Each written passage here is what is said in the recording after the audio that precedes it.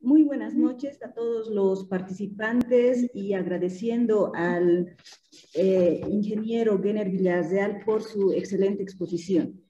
Ahora vamos a continuar con el Congreso Internacional de Suelo Estructura y damos la bienvenida al magíster ingeniero Agustín de Meneggi Colina, que es ingeniero civil con maestría en mecánica de suelo por la Facultad de Ingeniería de la Universidad Nacional Autónoma de México, UNAM, profesor visitante UNP, UNS, UPA Perú y profesor extraordinario USMP, UCSP, UPN, UPAO, eh, con el tema procedimientos empleados para los análisis de interacción suelo-estructura.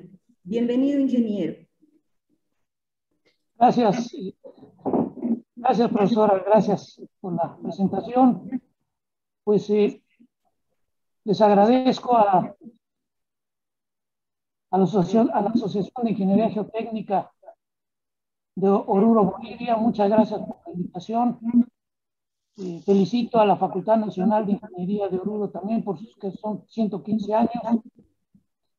Y pues me da mucho, me da mucho gusto poder eh, compartir con las compañeras, los compañeros eh, de Bolivia y de Latinoamérica, pues las experiencias que hemos tenido en, en nuestro caso en la, en la, Ciudad de México, en la República Mexicana. Estoy muy contento y, les agradezco la invitación, desde luego. Pues, eh, ¿sí me escuchan bien, compañeros, compañeros? Sí, ingeniero, se le escucha perfectamente. Bien, voy entonces a compartir el, la presentación. Voy a, este, voy a, voy a, hablar brevemente de los eh, procedimientos empleados para los análisis de interacción suelo-estructura. Eh, va a incluir algunos aspectos de historia, de la evolución de la interacción suelo-estructura. Y este, Permítame tantito nada más.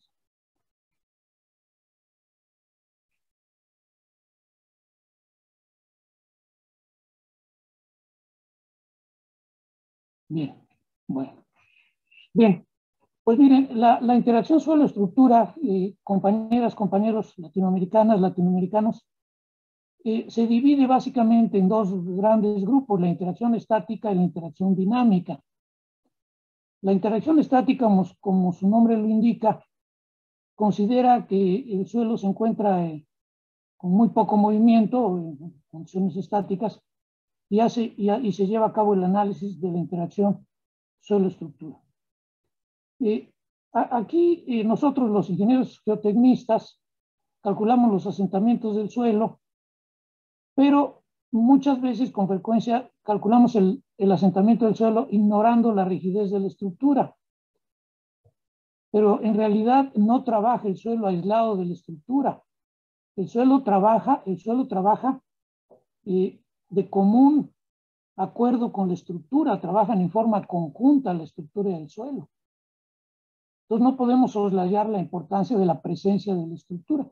Y eso básicamente en el cálculo de los asentamientos y después en el cálculo de las reacciones sobre las reacciones del terreno sobre la estructura y la influencia que tienen estas en los elementos mecánicos de la estructura, que es un efecto muy importante, es lo que se considera la, interacción, fue lo que tomamos en cuenta en la interacción suelo-estructura. Muy bien. Eh, para, para efectos de interacción, entonces, lo podemos dividir, vamos a hablar brevemente, voy a, voy a eh, darle un enfoque a cierto punto práctico a esto.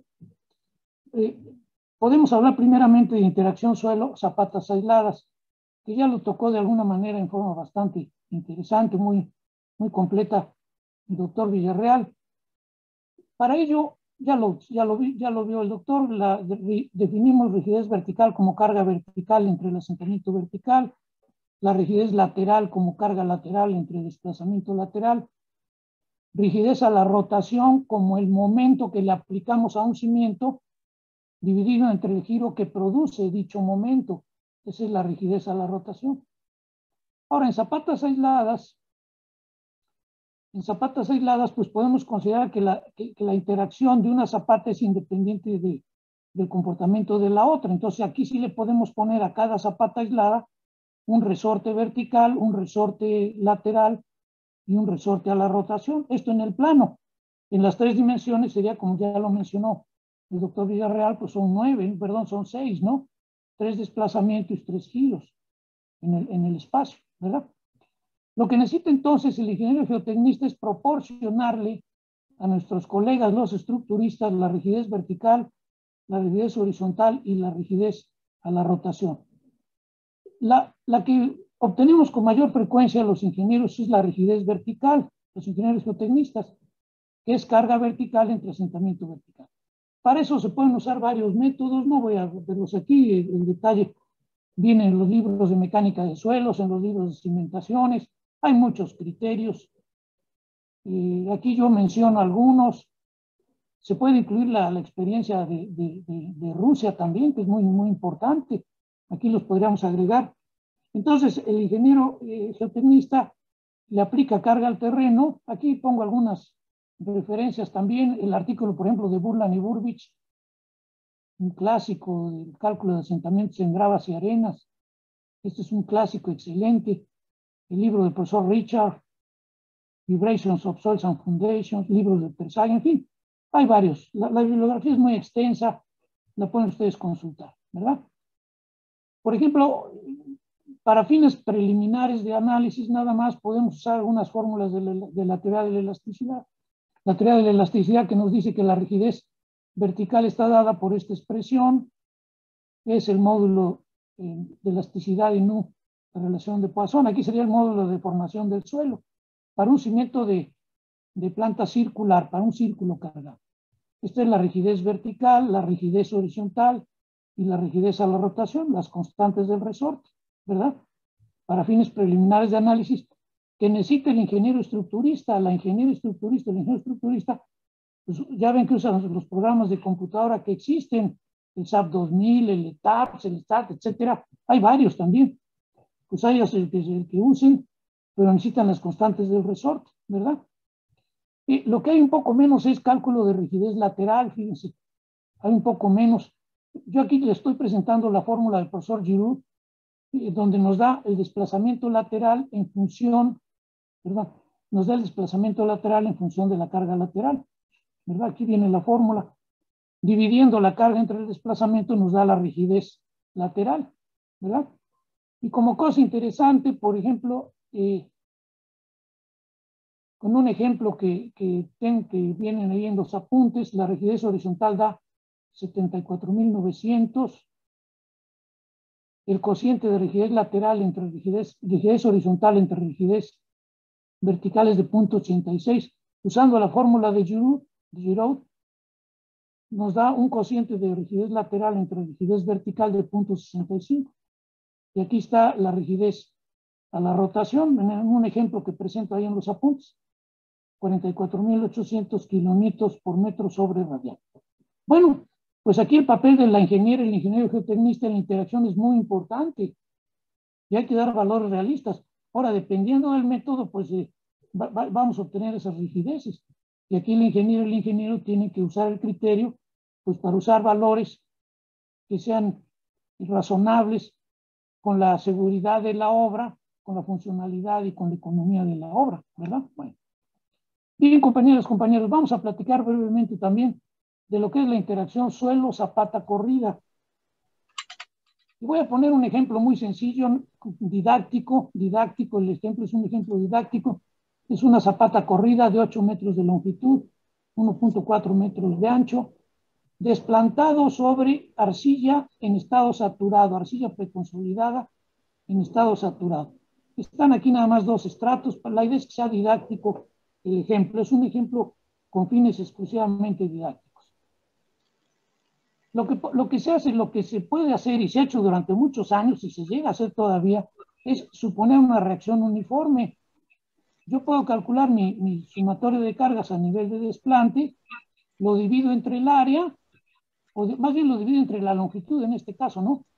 Lo divido entre la, longitud y me da una carga por unidad de longitud, una carga por unidad de longitud, en este caso particular de 192 kilonewtons por metro, ¿verdad? Bueno, con esa reacción uniforme yo puedo hacer el, diseño estructural. Ya el, el, problema ya, se puede resolver. Puedo calcular, por ejemplo, el asentamiento y el, asentamiento y el, diagrama de momento flexional. Aquí está el asentamiento a corto plazo. Esto es, el ejemplo es nada más a corto plazo. A corto plazo da un asentamiento inmediato de 3.4 centímetros en el centro y de 1.7 centímetros en los extremos. El diagrama de momento flexionante, compañeras, compañeros, nos da un diagrama con un momento negativo al centro del claro del orden de 320 negativo. El positivo da cero en este caso particular. Y repito, un máximo de negativo de 320. Ahora, siguiendo el desarrollo histórico, eh, el profesor Winkler dijo, bueno, pues es que la reacción uniforme no, no me convence, no, no, no, no, no está muy claro que sea efectiva. Entonces propuso el profesor Winkler desde hace muchos años sustituir el terreno de cimentación por resortes. Digo, bueno, vamos a ponerlo sobre una cama de resortes y le damos valores a las constantes del resorte. Bueno, pues con esa base podemos, aquí está la zapata, el ejemplo que estamos viendo, ponemos, son nueve resortes y vamos a calcular los asentamientos sobre esta cama de resortes. Nada más que viene el problema, ¿qué valor le damos acá, no? A la constante del resorte. A ver qué valor le damos, compañeras, compañeros. Pues ahora sí que, como dicen, dejen ver, ¿no? ¿Qué valor le podemos dar? Pues a alguien se le ocurre, dice, bueno, miren, una forma aproximada de calcular la constante del resorte es tomar en cuenta que la, la constante del resorte por unidad de área es la presión de contacto entre el asentamiento de, de, la cimentación. Entonces, podemos dividir la presión de contacto entre el asentamiento y la cimentación. Aquí lo estoy multiplicando por 0.75 para tomar en cuenta la rigidez de la estructura. Y me da la KB minúscula. Luego esa KB que es, es constante del resorte entre el área. Si yo esa constante del resorte la multiplico por el área tributaria de cada resorte, pues me da la constante del resorte ya de cada resorte, ¿verdad? Bueno, pues tomando en cuenta esto, tomando en cuenta los datos del ejemplo, me da, nos da un KB minúsculo de 5.300 kilonewton sobre metro cúbico. Eso multiplicado por el área tributaria de cada resorte, pues me da estas constantes. Y ya con estas constantes puedo hacer un análisis estructural, ¿verdad? Ahí está el análisis. El análisis estructural me da estas deformaciones de la estructura. Pero si ahora con esas cargas, con las mismas cargas, calculo el asentamiento del suelo, me da este diagrama de asentamientos. Fíjense, de, entrada ni, ni, siquiera se parece la forma, ¿no? Pero tampoco la magnitud, porque en la estructura me está dando 3.8, un poquito el orden de 3 a 8 centímetros en el extremo y en el suelo 1.8. Luego en el centro, en el suelo, 3.4 de ese orden. Bueno, aquí es un poquito parecido. 3.5, ¿no? Y aquí 3.4 y 3.5. En fin, no se parecen los diagramas. No hay, se dice entonces que no hay compatibilidad. Se dice, compañeras, compañeros, que no hay compatibilidad de deformaciones entre estructura y terreno. Ante esa situación, bueno, podemos también calcular nuestro diagrama de momento flexionante con estas constantes del resorte y nos da este diagrama, que por cierto se parece al de la reacción uniforme, 300 ¿eh? kilonewtons por metro negativo en el centro, muy, muy bajo, 20, muy bajo en el positivo y, y menos 300 negativo en el centro. Bueno, y ante esta situación, lo que, lo que propuso el profesor Chameki por cierto, hace ya muchos años, ¿eh? repito que estoy dando una especie de repaso histórico. El profesor Chameki en 1954 propuso un método iterativo para resolver el problema de la falta de compatibilidad. Por cierto, como, como cuestión eh, histórica, el profesor Chameki podemos decir que era, no sé, que, era, que, era, que es nuestro paisano, el profesor Chamequi es nuestro paisano, compañeros, compañeros. ¿Por qué nuestro paisano? Porque es, justamente es brasileño, Samuel Chamequi. Era un profesor en la Universidad de Paraná, en nuestra hermana República de Brasil, por cierto. Bueno, él propone el método iterativo, jóvenes, y entonces lo que, lo, lo, que, lo que obtiene, no voy a ver aquí el detalle, no, está para el alcance de esta, de esta presentación, pero el profesor Chamequi lo que hace es pone una carga, eh, eh, pone aquí una carga unitaria y calcula el asentamiento de un estrato y con esa carga unitaria luego la multiplica por la carga real, viendo ahí, haciendo el procedimiento y a final de cuentas lo que obtenemos es los asentamientos del suelo en función de las cargas obtenemos los asentamientos del suelo en función de las cargas. Si yo varío las cargas, puedo ir calculando los asentamientos. Bueno, ¿en qué consiste el método iterativo? Bueno, lo que propone Chamequi en 1156 dice, bueno, miren, vamos a hacer lo siguiente. Vamos a aplicar un sistema de cargas al suelo y con esta ecuación calculo los asentamientos del suelo con un sistema de cargas. Ahora, bueno, pero ¿con cuál empezamos? Bueno, pues empieza con la reacción uniforme, pues al final de cuentas lo vamos a hacer iterativo. Entonces, empezamos con reacción uniforme, calculamos los asentamientos del suelo, multiplicado por la distancia tributaria de cada reacción, y, y por la reacción que aplicamos nos da la constante del resorte. Con esta constante del resorte entramos a la estructura y hacemos el análisis estructural. El análisis nos da como resultado las deformaciones de la estructura. Con las deformaciones de la estructura y la geometría de la cimentación y las constantes que usamos antes, obtenemos las nuevas cargas sobre el terreno. Volvemos al terreno, le aplicamos las nuevas cargas, obtenemos las nuevas constantes, hacemos el análisis estructural, etc. Y así vamos iterando. Aquí pues, presenté un ejemplo muy sencillo con tres resortes, nada más totalmente didáctico, y aquí está, miren, las iteraciones. En la primera iteración se obtienen estos asentamientos y estas constantes del resorte. Hacemos el análisis estructural y aquí vienen ya las deformaciones de la estructura. Fíjense que al principio el asentamiento del terreno es un centímetro y dos centímetros. Pero ya cuando se mete la estructura, inmediatamente se, se toma en cuenta, interviene la rigidez de la estructura. Ya, ya fíjense, es 1.2, 1.5 ya se van uniformando los asentamientos. Pues aquí están las iteraciones, se va iterando en el suelo 1.2, 1.5, ya miren, desde un principio se empiezan a aparecer. En la cuarta iteración, fíjense, deformaciones de la estructura 1.25, en el terreno 1.20, perdón, aquí es estructura, perdón. Ah, perdón, al. Terreno 1.25, estructura 1.25. Este es en el extremo. En el centro, Terreno 1.56. Estructura. Estructura 1.56. Se logra la compatibilidad de demostración, perdón, se logra la compatibilidad de deformaciones. Este ejemplo, este, este método iterativo lo aplicamos a la zapata con los nueve resortes, con los nueve resortes, y aquí está el resultado, miren. Deformaciones de la estructura 3.1, en el extremo y 304 en el centro. Esto es en la estructura.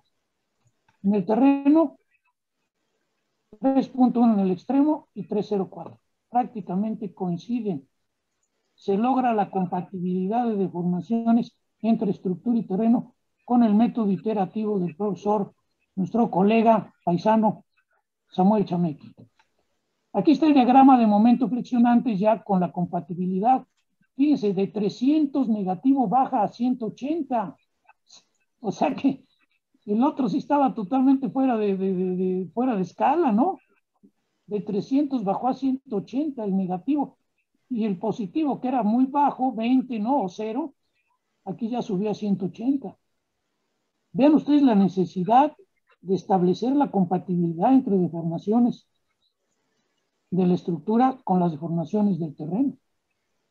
Bueno, pues ahí están los módulos, ¿verdad? Bueno, eh, bien, en alguna ocasión nosotros en, México, bueno, en la, UNAM, propusimos, yo propuse un método directo, yo lo propuse, en donde lo que hacíamos era hacer el análisis estructural considerando las reacciones del terreno como incógnitas.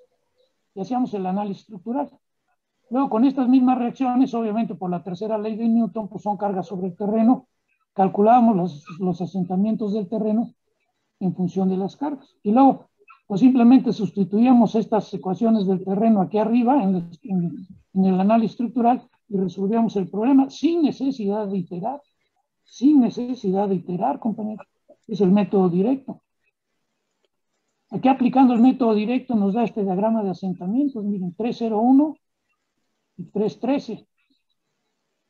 Con el iterativo, el, el iterativo 313, 3.1. Con el iterativo nos daba 304 y con el directo 301 da, da prácticamente igual. El diagrama de momentos, compañeras, compañeros, aquí nos da menos 200, es similar al de 180 que veíamos en acá, ¿no?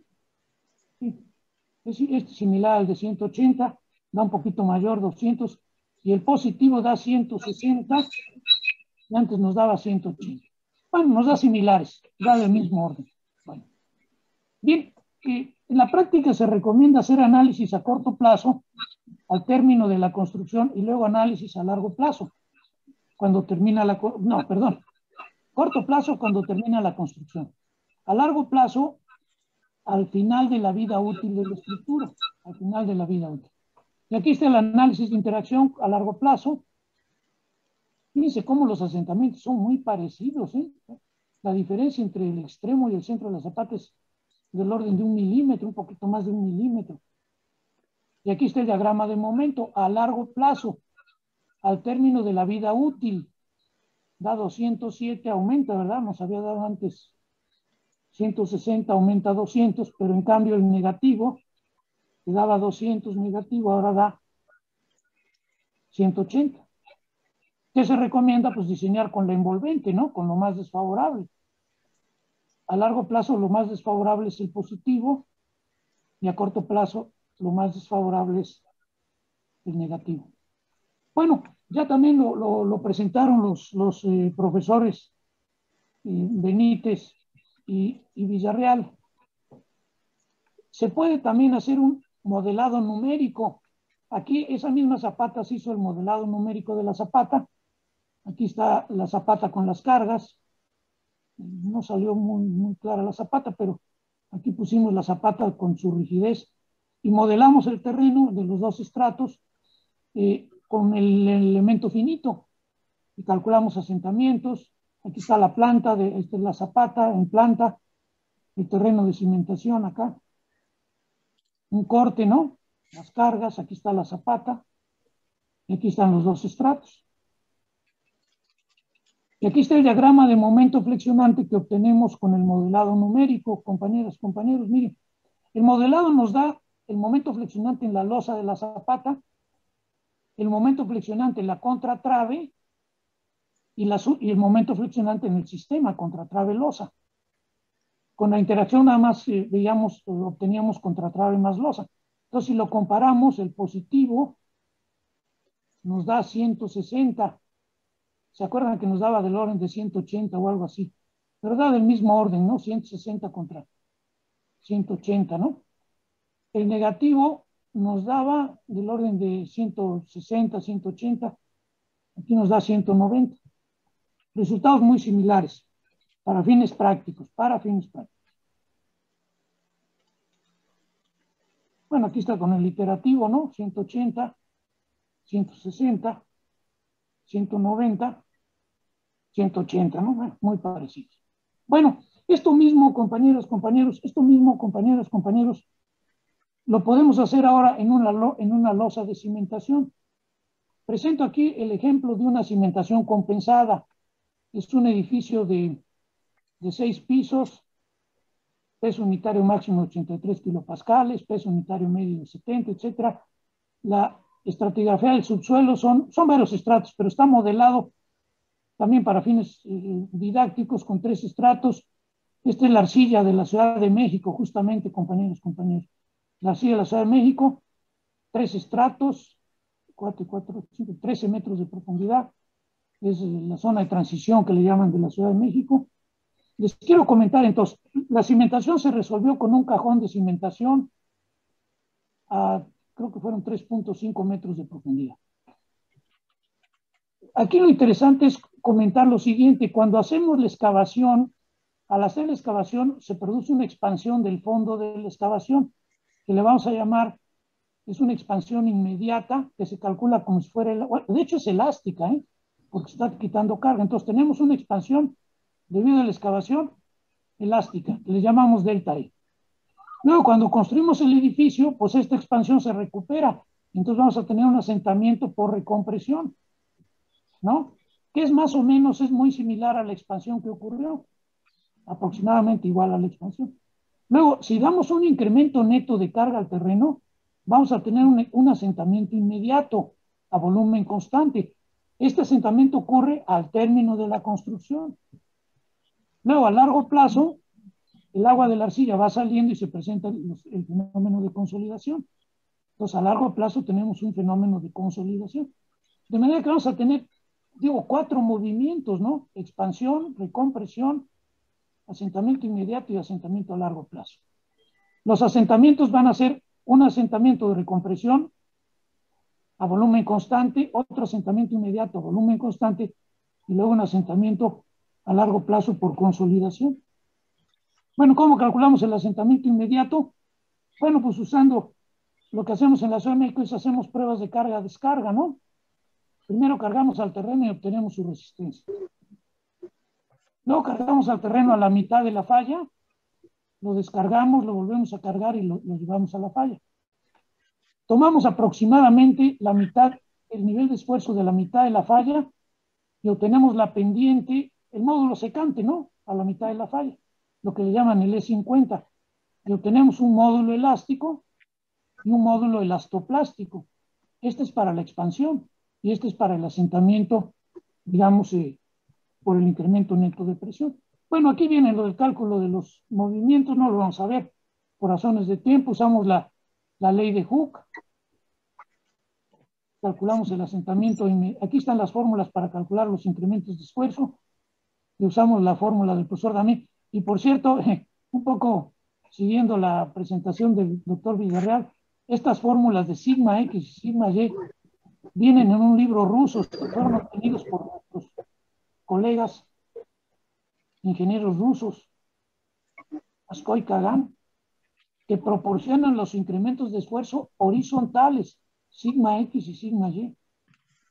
Fórmulas de nuestros colegas ingenieros rusos, profesores. Bueno, bien, aquí está el cálculo del asentamiento, de la expansión elástica. Aquí viene el cálculo de la, del asentamiento debido al incremento neto de carga. Este es del asentamiento inmediato por el incremento neto de carga. Y aquí viene el cálculo del asentamiento a largo plazo. En México usamos la teoría de la consolidación primaria de Terzaghi y la teoría de la consolidación secundaria del profesor Sebar. Aquí viene el detalle del cálculo que viene en, los, en, las, en, notas que, presenté.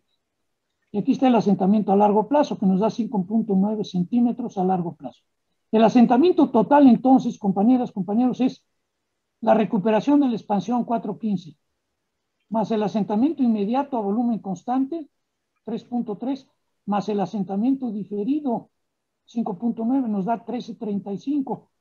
En la Ciudad de México nos toleran, nos permiten un asentamiento máximo de 15 centímetros, de manera que cumplimos con eso. Esto es importante para fines de interacción.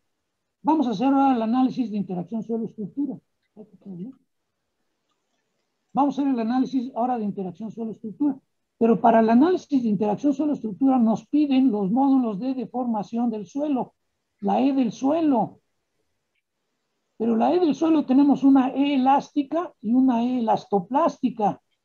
Entonces aquí, esta fórmula que, proponemos, pues es una especie de promedio ponderado. Esta sería la carga total, la carga por recompresión y el incremento neto. Entonces sacamos un promedio ponderado que le estamos llamando EUT. Aquí viene cómo, cómo calcularlo para cada estrato. Aquí están los valores que obtuvimos. Es un promedio ponderado entre el elástico y el elastoplástico. Ahí está. Con este hacemos el análisis de interacción suelo-estructura. Bueno. Luego, para largo plazo es un poco más. También nos van a pedir los módulos de deformación del suelo, el, método numérico, el análisis numérico. Aquí procedemos un poco al revés. Miren, tenemos como, dato el asentamiento total. Entonces necesitamos alimentar el, método numérico con un módulo que nos dé el asentamiento total. Entonces aquí está la forma de calcularlo en función de los incrementos de esfuerzo y del espesor. Y este es el dato que nos da el estudio geotécnico. Nosotros necesitamos que el método numérico nos dé el mismo asentamiento. Entonces hay que darle un módulo que dé ese asentamiento, ¿verdad? Bueno, ahí viene el detalle, no lo vamos a ver por razones de tiempo aquí. Estos son los módulos que usamos a largo plazo. Con ese hicimos los análisis de interacción. Con esto hicimos los análisis de interacción a largo plazo. Aquí están los ejemplos del método iterativo. Dividimos la losa en 117 nudos, una retícula. Aquí está la numeración de las barras, el análisis a corto plazo. Usamos un, programa que hemos elaborado, que está a disposición de los compañeros, yo se los puedo mandar, está en Fortran, con el método iterativo. Estos son los resultados. Nada más puse estos ejemplos, no son 117 nudos, el promedio son 5 centímetros, el máximo 6.9 y el mínimo 4.11 centímetros. Fíjense que el diferencial es muy pequeño, como ya habíamos comentado. Bueno, miren, para fines prácticos, pero nada más para fines preliminares de análisis, cuando no se cuente con un método iterativo, pues entonces se puede usar una constante del resorte en las orillas de 1.4 a 1.7 de la constante en el centro y para los resortes de, las, de la esquina, aquí está, miren, para los de las orillas, de 1.4 a 1.7, estos. El central lo calculamos como ya vimos antes. En las orillas de 1.4 a 1.7 y el de las esquinas de 1.7 a 2.1. El central, ya lo vimos, calculamos el cable minúscula como presión entre asentamiento. Luego por el área tributaria de cada resorte nos da la constante del resorte. Y aquí están los resultados con el método directo igual. No sin necesidad de hacer iteraciones, lo mismo. Corto plazo, método directo. Aquí está el programa Fortran. Y aquí están los resultados. Fíjense, con el directo nos da estos asentamientos.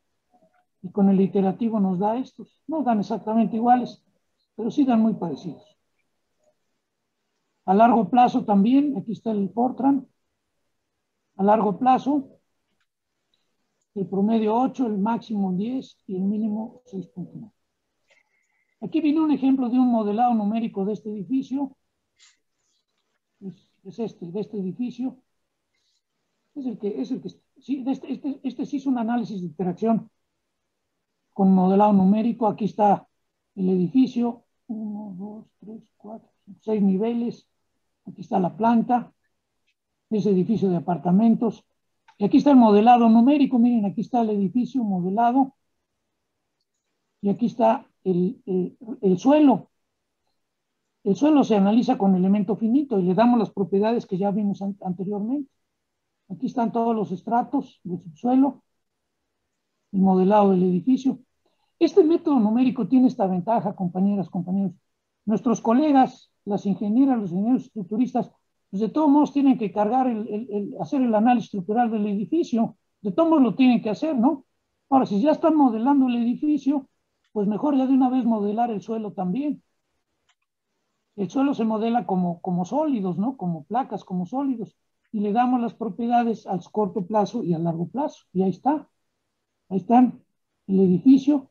Y ya se hace el, se corre el método numérico y pues ya le da a nuestros colegas compañeras, compañeros estructuristas, pues ya le da todos los resultados, les da los asentamientos, los elementos mecánicos, y ya se puede diseñar la estructura. Están los resultados, miren. Están los resultados, miren. Como era, así, como era asimétrica la carga, había carga un poquito más de este lado, el edificio se hunde más del lado izquierdo que del lado derecho. Aquí está en sección longitudinal, aquí transversal, aquí está la planta de los asentamientos, y aquí está la comparación de todos los métodos, compañeros, compañeros. Con el directo, 5 centímetros, el promedio. Con el iterativo, 5.5. Con el numérico, Este sería con el numérico que vimos 3.8. Y, y, la geotecnia nos da un promedio de 4.6, pues los cuatro son similares, ¿verdad? Bueno. Este es corto plazo. Largo plazo es similar, mire. A largo plazo, el directo 8.7, el numérico 9.3 y geotecnia 8.3. Bueno, pues esto es interacción estática, compañeras, compañeros. Eh, creo que es, evidente la necesidad de usar la interacción, porque de otra manera, pues lo que obtenemos, no tenemos idea de lo que puede estar ocurriendo. Voy a hablar brevemente, ya lo tocaron los profesores eh, Benítez y Villarreal, de manera que voy a hablar muy brevemente de, condiciones sísmicas. Ya voy a hablar de condiciones sísmicas. En caso de un sistema de un grado de libertad, pues el suelo se mueve. Bueno, perdón, sería una vibración libre, ¿no? De vibración libre obtenemos el periodo natural de vibración, el amortiguamiento crítico y lo que es la fracción de amortiguamiento. Ya lo han visto ustedes en sus clases de dinámica. Aquí, les presento, compañeras, compañeros, un acelerograma en terreno firme. Esto se obtuvo en Ciudad Universitaria, en la Ciudad de México, en terreno firme. Y el máximo, la máxima aceleración ocurre en, en dirección este-oeste y era del orden de treinta y tantos centímetros sobre segundo cuadrado, aproximadamente. 34 gals, ¿no? 30, el orden de 30, de 40, vamos a pensar 40 centímetros sobre segundo cuadrado. ¿Qué pasa ahora en, el, en, el, en la práctica? Bueno, pues se mueve el suelo, ¿no? Y al moverse el suelo, pues la masa, vamos a pensar una masa de un grado de libertad, se mueve la masa de un grado de libertad. Metemos un sismo, metemos, por ejemplo, metemos este sismo, ¿no? A un grado de libertad y obtenemos, aquí está, aquí está el espectro. El espectro lo que ponen nuestros colegas, ingenieras, ingenieros sismólogos o sísmicos, lo que pone son las aceleraciones máximas. Este es un, acelero, es un espectro perdón, obtenido por el Instituto de Ingeniería. Aquí le pusieron amortiguamiento de 0, 2, 5, 10 y 20. Este sería el de 0, luego el de 2, el de 5. Y este es el espectro, esta es la respuesta, esta es la aceleración máxima para este, para este sismo. Bueno, lo que hacemos en la práctica, lo que se hace en la práctica es luego se mete otro sismo, los sismos obviamente los más severos, se meten todos los sismos más severos y se van obteniendo los espectros. Y luego se obtiene un envolvente de los espectros, que es el, el espectro de diseño sísmico, que nos da las máximas, la máxima aceleración, la envolvente, la envolvente de los espectros. Bueno, bueno ya teniendo la aceleración, ¿verdad? Ya teniendo la, ya teniendo la aceleración, compañeras, compañeros, pues podemos obtener la fuerza sísmica, fuerza igual a masa por aceleración, la masa es peso entre gravedad, dividimos aceleración entre gravedad, y ese es el famoso coeficiente sísmico, ¿no? ¿Verdad? Y el coeficiente, es, es, esto es lo que, el, coeficiente sísmico es lo, que nos da el espectro, el espectro nos da el coeficiente sísmico, que es A entre G. Si multiplicamos el peso por A entre G, pues ya nos da la fuerza de inercia debido al sismo, ¿no? Y con eso pues hacemos el cálculo estructural, de, de, también de la geotecnia, capacidad de carga, el giro de, de, del edificio, etc. Se nos presenta, pero aquí el problema es que se nos presenta, o más bien tenemos un pequeño problema, este, jóvenes, compañeras, compañeros, colegas. Llegan las ondas sísmicas pero cuando pasan de terreno firme a terreno blando se amplifican, la aceleración se amplifica. Entonces podemos tener una aceleración aquí en terreno firme y otra aceleración muy diferente en la superficie del terreno blando. Es el, famoso efecto de sitio, ¿no? El famoso efecto de sitio que pues aquí tenemos una aceleración, pero arriba, por el suelo, por la presencia del suelo blando, puede, puede haber una aceleración. El problema es que la aceleración aquí arriba es a veces de tres, cuatro, cinco veces aquí arriba comparada con la de aquí abajo. Bueno, aquí vienen unas fórmulas para calcular los periodos de vibración del suelo basado en la teoría de la elasticidad. Se puede demostrar que el periodo de vibración de un estrato de suelo blando es cuatro veces el espesor por la raíz de, raíz de ρ entre G. ρ es la más específica y G es el módulo de rigidez dinámico del suelo. Bueno, si viene un sismo, entonces, compañeras, compañeros, va a excitar esta masa, va a excitar esta. La excitación en, el punto 2 es parecida, no es igual, obviamente, pero es parecida al punto 1, siempre y cuando no sea una loma muy escarpada, ¿no? Y esta aceleración, pues también es parecida aquí, aunque no exactamente igual, pero es parecida. Pero el suelo blando sí es muy diferente, fíjense. Vamos a tener aquí una aceleración y aquí arriba la aceleración va a ser muy diferente. Vamos a tener una aceleración aquí y aquí arriba la aceleración va a ser muy diferente. ¿Por qué? Porque el suelo blando se va, también va a ser un vibrador. Entonces, nada más como ejemplo, vamos a pensar que la frecuencia de las ondas dominantes es de dos puntos, ah, perdón, el periodo, que el periodo de las ondas dominantes es de 2.5 segundos, pero el periodo natural del suelo aquí es de 4 segundos pues entonces vibra en ese, no hay resonancia. Pero ¿qué tal que el periodo natural de vibración aquí sí es de 2.5 segundos y, la, y el periodo dominante de las ondas es de 2.5 segundos? Pues el suelo entra en resonancia. Y luego aquí puede, y si la estructura esta también tiene 2.5, pues casi doble resonancia. El impacto es muy fuerte. Acá, acá va a ser menor, Bueno, rápidamente. Aquí les presento, compañeros, compañeros, un acelerograma en el centro de la Ciudad de México en el sismo del 85. Aquí está el acelerador. Vean ustedes el, periodo de las ondas, ¿no? Vean el periodo bastante regular, 2.5 segundos, aproximadamente entre 2 y 2.5 segundos. La máxima aceleración acá fue de, si mal no recuerdo, fue de 150, fíjense aquí. Aquí fue 150 la máxima aceleración. Comparado con 40, a ver si, vamos a pensar 160 ahorita para, para cerrar los números, 160 entre 40, cuatro veces. O sea, en terreno firme tuvimos 40 centímetros sobre un segundo cuadrado. En, en la superficie del suelo blando fue 160, cuatro veces la aceleración. En este sitio, este es el centro, fue en el centro ST de, de la Secretaría de Comunicaciones y Transportes en México. Aquí está el espectro para este sismo del 85 para diferentes amortiguamientos. Igual sacamos el espectro, ¿no? Para este sitio en particular, el espectro para este sitio, metemos los temblores más fuertes y obtenemos el espectro de diseño. Aquí está la aceleración espectral, la, la máxima aceleración para un grado de libertad y 5% de amortiguamiento. Vean ustedes cómo cuando, en el, cuando el espesor de los estratos es de 37 metros, ese centro ST, ese, ese es el acelerograma que les presenté hace rato. Fíjense nada más la aceleración, compañeros.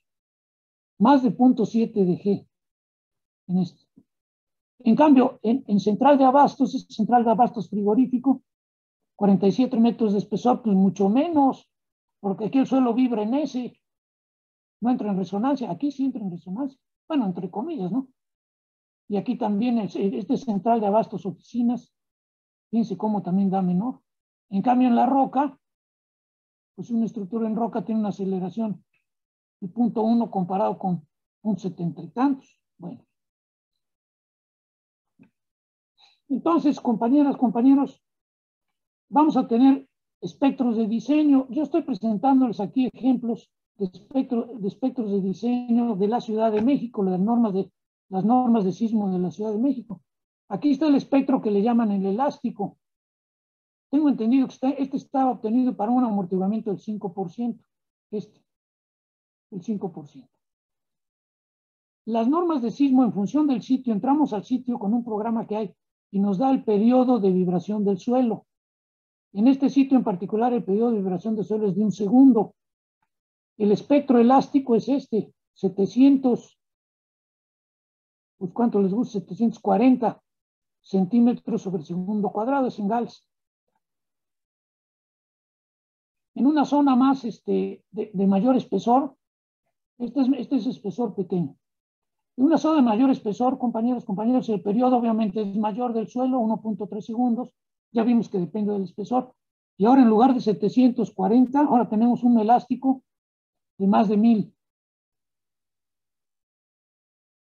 Y luego en otro lugar donde el periodo de vibración del suelo es de 2.4 segundos, que es el que le gusta a las ondas sísmicas, es donde entra en resonancia el terreno. Fíjense, el, eh, eh, espectro nos da un, un, coeficiente sísmico de 1600.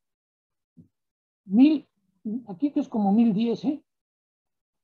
1600. Esto es en la zona más crítica de la Ciudad de México, compañeros. Bueno, bueno, este, compañeros, compañeros, bueno, pues entonces vemos que, vemos entonces que los, los espectros de diseño dependen del periodo de vibración del suelo. ¿Qué necesita entonces la ingeniera, el ingeniero geotecnista? Pues determinar ese periodo de vibración del suelo, ya sea que lo tome de, las normas o que lo, o que lo obtenga directamente. Y nosotros estamos, debemos estar capacitados para determinar el periodo de vibración del suelo, jóvenes. Aquí viene el método, aquí viene el método de, las normas de sismo, que por cierto viene bastante bien presentado, ¿eh? la verdad. Eh, lo que hace es igual a la energía, la energía potencial de deformación. Cuando se deforma el suelo, hasta acá tiene una energía de deformación. Luego se suelta el suelo y esa energía pues, es igual a la energía cinética cuando pasa por acá. Cuando iguala las dos energías, obtiene esta fórmula que nos da el periodo de vibración del suelo en función del módulo de rigidez dinámico y del espesor de los estratos. ¿Qué necesita entonces conocer el ingeniero, la ingeniera, el ingeniero geotecnista?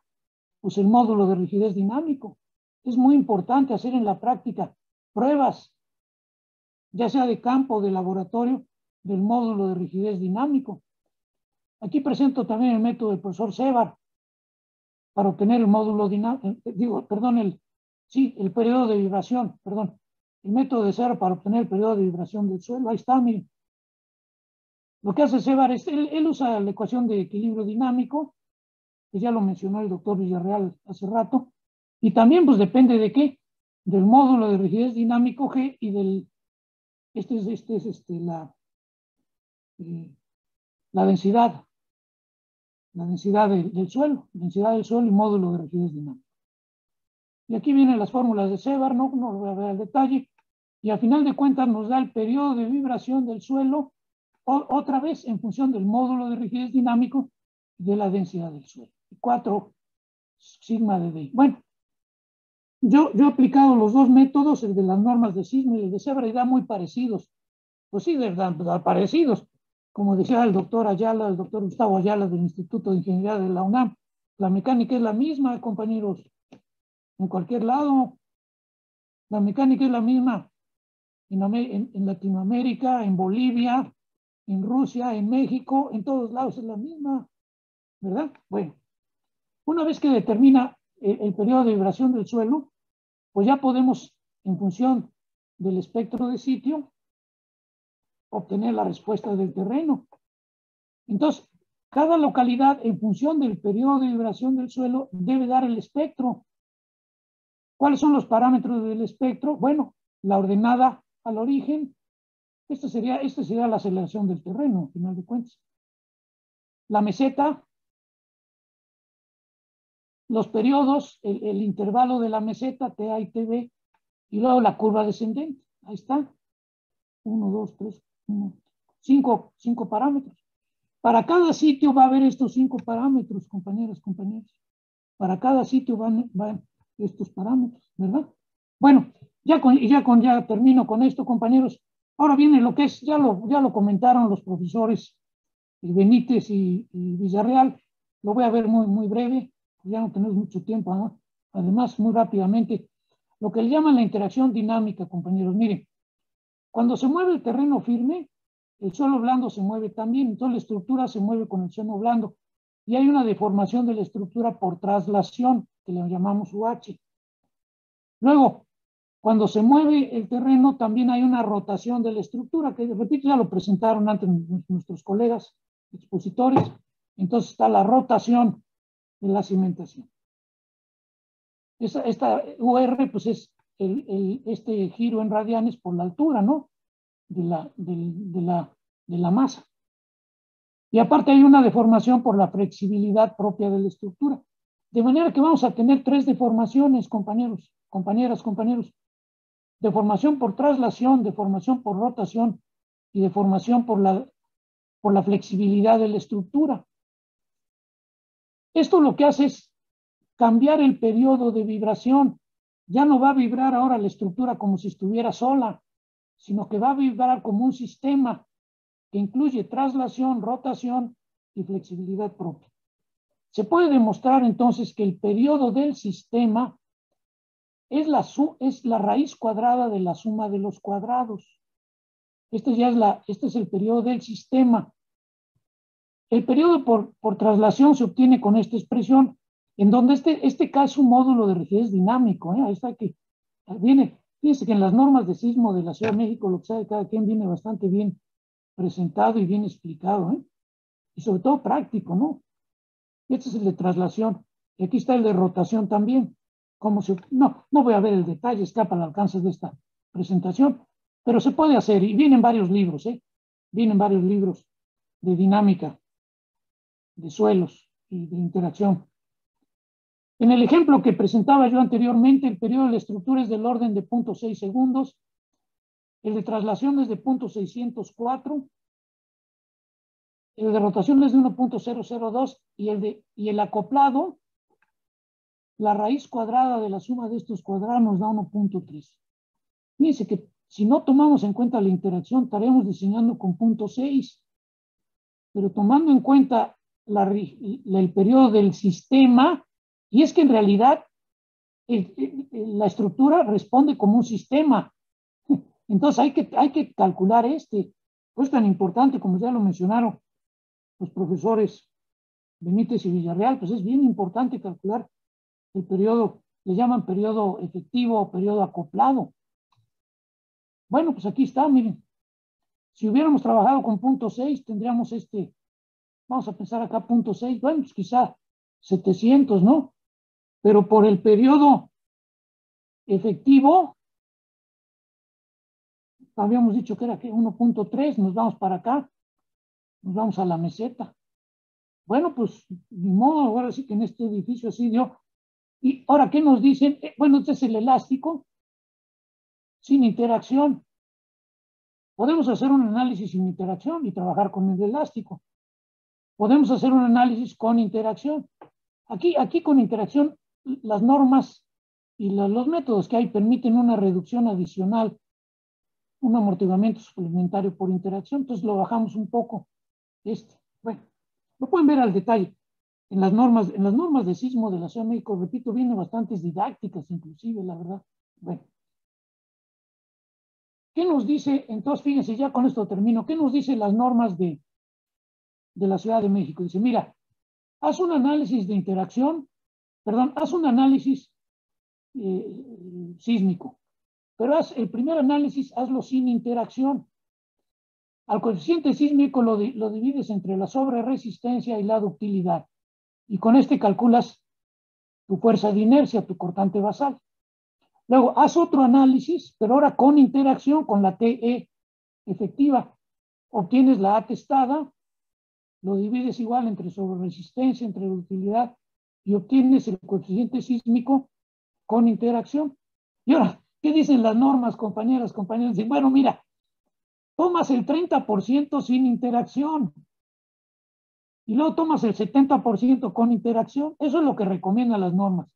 Se curan en salud. Dicen, bueno, mira, tómate el 30% acá y el 70% acá. Y ya con eso tienes tu cortante basal con interacción suelo-estructura. ¿Verdad? Bueno, ya con eso hacemos el análisis bueno, obviamente el análisis estructural, el análisis modal, o ustedes, nuestros colegas, colegas estructuristas son expertos en eso.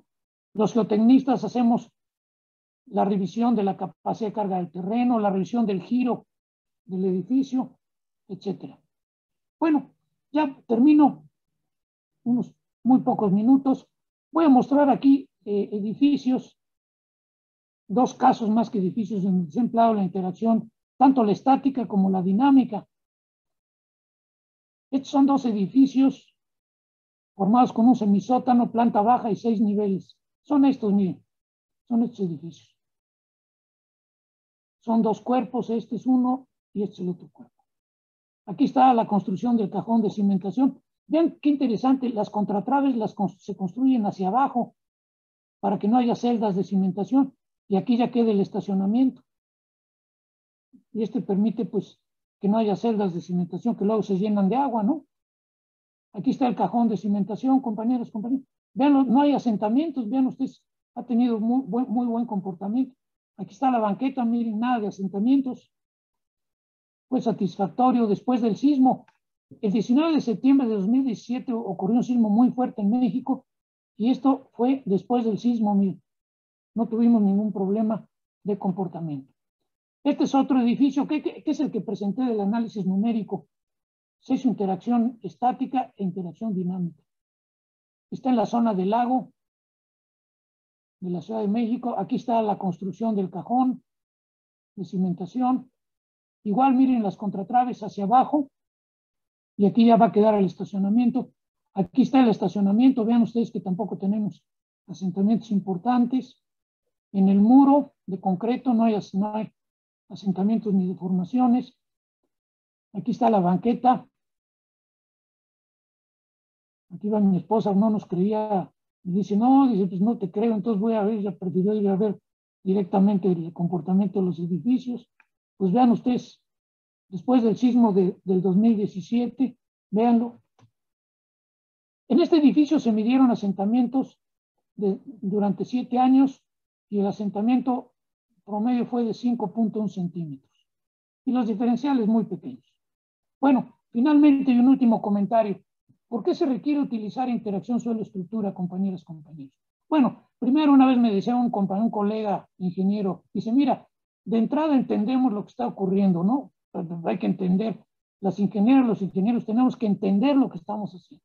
Más allá de los métodos que usemos, muy complicados o menos complicados, pero hay que entender, ya lo mencionaba el maestro Benítez y el doctor Villarreal. Tenemos que entender lo que estamos haciendo. También como, como da resultados más cercanos a la realidad, pues colocamos el acero de refuerzo donde se necesita. Y en algunos casos particulares, no en particulares, pero en algunos casos se produce un ahorro importante en el costo de la estructura de cimentación y de la propia superestructura. Con lo anterior cumplimos con los requisitos que debe cumplir, cumplimos, perdón, la redundancia, ¿no? Con lo anterior cumplimos con los requisitos que debe satisfacer, aquí les pido una disculpa, que debe satisfacer una cimentación. Seguridad, funcionalidad, economía, estética y que sea sustentable. Con la interacción solo estructura y obviamente haciendo bien el trabajo de, de la geotecnia, el trabajo cálculo estructural, etcétera, tenemos que cumplir en forma simultánea con estos cinco requisitos. Tenemos que continuar observando a la naturaleza, hay que, hay que observar el comportamiento de la, los fenómenos de la naturaleza, continuar observando y analizando el comportamiento de las obras de ingeniería. Y aquí como cápsula, porque luego mis alumnos me dicen, oiga, profesor, ¿y las cápsulas? Bueno, una cápsula muy breve del Fausto, que dice Goethe en el Fausto, dice, mantengámonos firmes y miremos alrededor en torno nuestro. Este mundo no es mudo para el ser humano inteligente. Sí, compañeras, compañeros, este mundo no es mudo para el ser humano inteligente. Pues nuevamente muchas gracias, muchas gracias a la Asociación de Ingeniería Geotécnica de Oruro. Muchas gracias al, maestro Richard Raúl Josefia, muchas gracias a, mis colegas eh, bolivianos, colegas ingenieras, ingenieros bolivianos. Un saludo también muy afectuoso a mis colegas ingenieras, ingenieros latinoamericanos. Es muy, es muy satisfactorio poder compartir con ustedes y poder platicar con ustedes. Muchas, muchas gracias y felicito desde luego a la Universidad, a la Facultad Nacional de Ingeniería por sus 115 años de, de, de práctica.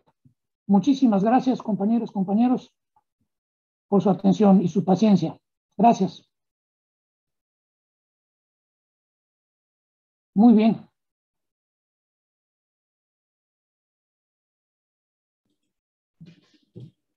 Ingeniero, muchas gracias por su participación. A nombre de la Asociación de Ingeniería Geotécnica de Oruro, Bolivia, le damos este reconocimiento por su participación en el primer Congreso Internacional Interacción Suelo-Estructura su exposición ha sido excelente e invitamos también a los participantes si tal vez tienen alguna pregunta para realizar al ingeniero Agustín de Menelli.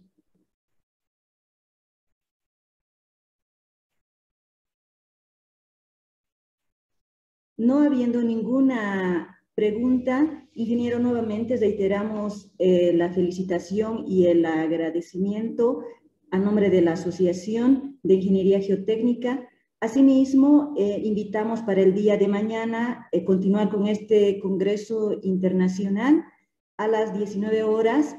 los participantes serán los ingenieros Marco Antonio Toses Bautista, Jorge Rodríguez Ordóñez, Wilson Rodríguez Calderón.